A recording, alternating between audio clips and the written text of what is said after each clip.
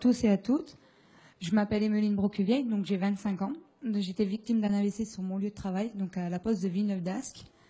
Donc euh, le matin même, donc du 19 février, j'ai envoyé un message à mon chef de service pour ne pas venir travailler. Donc il m'a insisté pour que je vienne travailler. Donc j'ai pris mon poste à 6h30.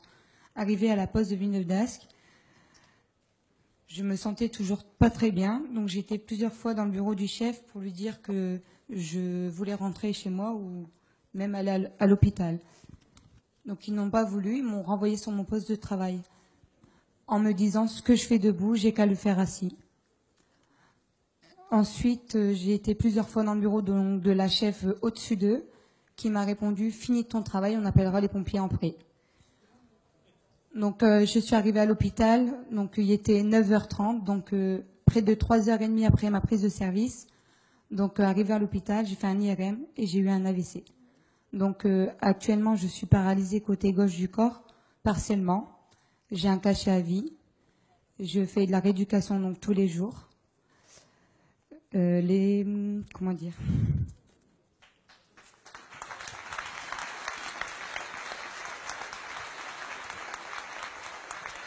Aujourd'hui, le, facteur qui m'a qui m'a secouru, donc qui a insisté pour appeler les pompiers, a été mis à pied. Donc ça fait huit mois qu'il ne travaille plus. La Poste a essayé de le mettre d'écart pour pour éteigner le feu donc de mon histoire. Aujourd'hui, une procédure en justice est, est en cours. On attend une date pour passer au tribunal de pénal pour qu'ils répondent de leurs actes.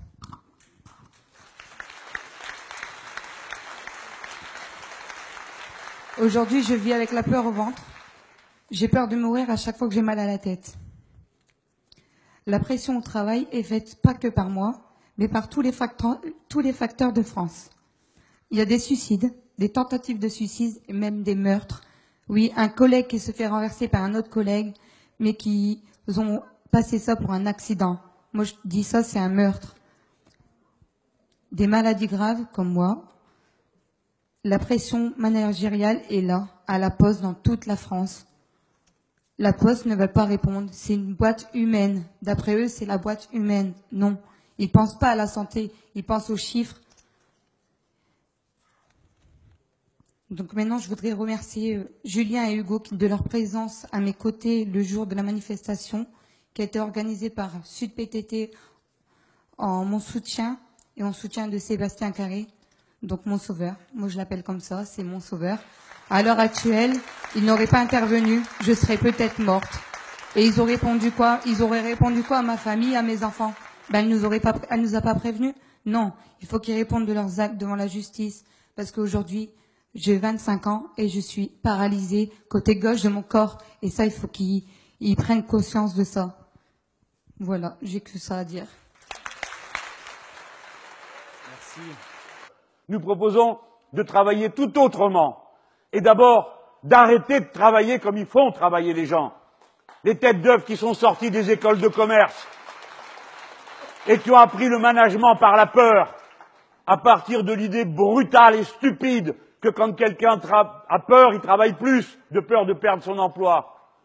L'idée brutale et stupide que quand quelqu'un est insécurisé, il va se traîner pour être là encore, comme notre pauvre amie et camarade Emeline que vous avez entendu hier.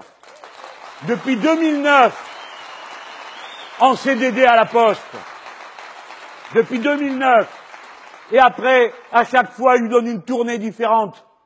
Vous savez ce que c'est qu'une tournée de facteurs? Et vous en voyez, il y a peut-être des facteurs aussi dans la salle. Mon père était receveur de poste, j'ai vu les gens partir avec les sacs et tout. D'habitude, vous faites la même tournée. Et ça vous rend habile, vous faites plus vite. Vous faites mieux, puis vous arrêtez pour dire un petit bonjour à quelqu'un. Maintenant, il va falloir payer pour que quelqu'un vous dise bonjour. Vous êtes au courant de ça?